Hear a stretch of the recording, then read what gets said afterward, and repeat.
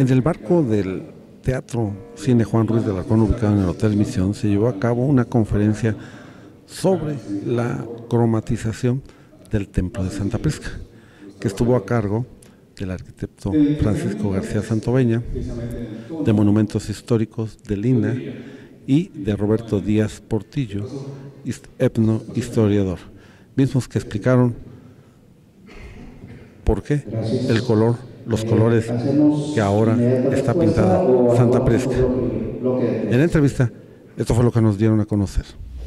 Bueno, pues estamos ahí justificando nosotros las acciones que, estamos tomando en base a una investigación filológica y en base a análisis eh, químicos, físicos, eh, técnicos y los colores que estamos poniendo en Santa Prisca, para empezar los dice el templo, ahí los tiene. La técnica, nosotros la estudiamos, vimos cuál era lo, más adecuado, hemos consultado grandes autores, grandes eh, pensadores en la materia. Eh, no es cualquier gente, está la doctora Vargas Lugo, que es una autoridad, y estamos tomando la información que corresponde al templo. Entonces eso le puedo decir yo a la gente que estamos eh, con un compromiso muy fuerte a nuestra espalda, que es eh, la cromática de Santa Prisca, y le estamos trabajando como hemos trabajado siempre, con mucha honestidad. Ahora viene la prevención. Se escuchaba de los vehículos, el ruido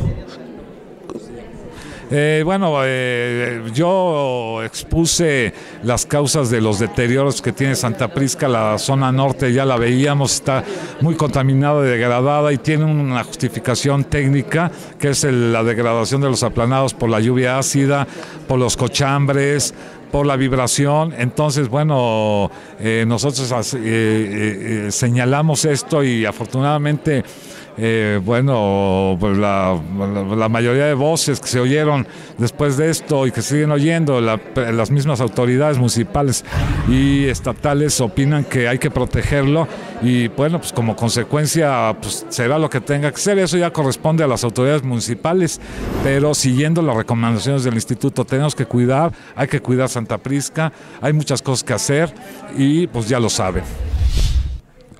Esta eh, esta joya, este recinto de Santa Prisca, está bajo la tutela, se puede decir, bajo resguardo de Lina. Es un recinto federal, debo precisarlo. Sin embargo, el gobernador del estado y la Secretaría de Cultura han estado pendientes, como los tasqueños lo han podido constatar, siempre de la parte que le toque aportar. A veces hasta la gestión y en otras ocasiones con la gestión, perdón, con, la aportación eh, en, los términos en que la, autoridad municipal o la instancia encargada lo plantee. ¿Algo más que desea agregar? Solo agradecerles a ustedes, los tasqueños, y a ustedes de manera muy especial que nos permitan difundir esto que hoy aquí se ha comentado. A mí me parece por demás importante que los tasqueños vayan tomando conciencia de que para preservar esta joya arquitectónica, todos, todos tendrán que aportar un grano de arena. Empresarios, ciudadanos, eh, transportistas, todos aquellos que de una u de otra forma tienen que ver con eh, el turismo aquí en la ciudad de Tasco. La parroquia Santa Prisca, como pudieron escuchar a lo largo de la conferencia, están basados en un cuádruple discurso. En discursos, digamos, de letreros, ¿no? que eh, dan el nombre de María, en imágenes de María, en colores de María y los personajes asociados a ella, San José y Jesús. El color específico de los colores rojo y amarillo, que son lo que domina en el templo, pues corresponden a el simbolismo de Cristo sacramentado, es decir, el color tiene un significado.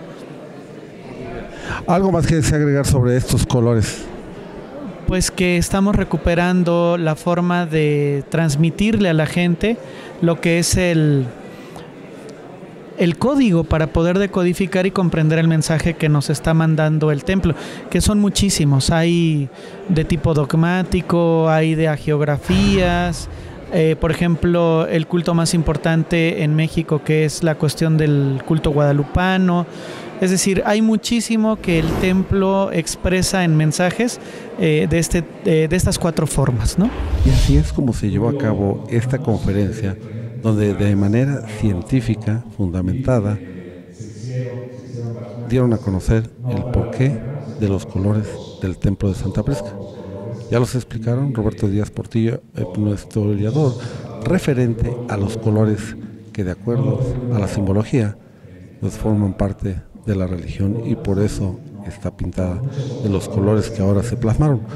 Cabe destacar que participaron más de 30 arquitectos de diferentes ciudades como de Zacatecas para determinar el color de Santa Prisca, que de acuerdo históricamente es, son los colores originales.